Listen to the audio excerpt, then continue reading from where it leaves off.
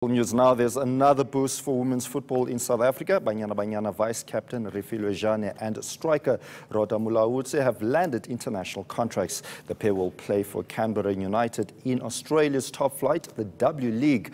Jane currently plays for TUT, who lead the Gauteng Sasol League standings, while Mulaudzi is a striker for third place Mamelodi Sundowns ladies. The W League starts in October.